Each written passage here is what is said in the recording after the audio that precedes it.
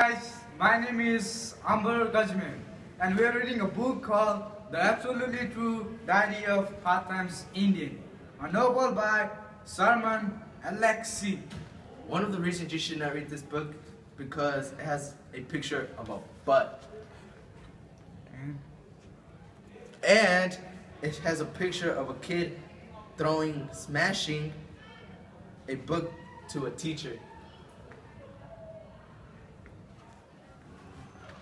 Uh, it also talks about sex and masturbation now we're doing in school. Uh, and talks about the races, uh, the relationship between Indian and uh, whites. The, this book has a good understa- understanding about teenagers, uh, teenagers' secret. One, two, three. Oh, come on.